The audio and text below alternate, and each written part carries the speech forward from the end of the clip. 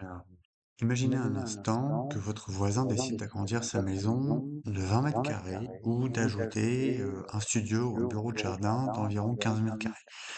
Ça signifie, aux yeux de la loi et euh, du, euh, du code de l'urbanisme, qu'il doit soumettre une déclaration préalable à la mairie. Donc, une fois son projet approuvé, il peut lancer les travaux.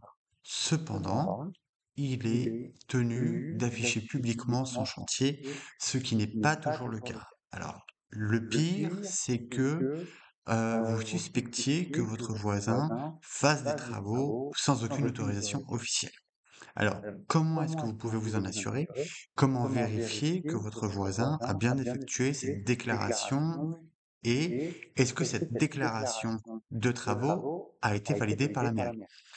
La méthode la plus directe pour vous assurer que les travaux de votre voisin respectent les règles est déjà bah, de jeter un œil euh, de son côté.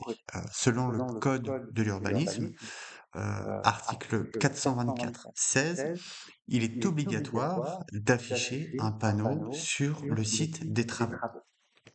Une autre option consiste à vous rendre directement à la mairie pour vérifier par vous-même si la déclaration a été déposée on vous recommande vivement de vous faire accompagner par un avocat spécialisé en droit de l'urbanisme ou même par un architecte qui pourront confirmer avec vous la conformité de la déclaration.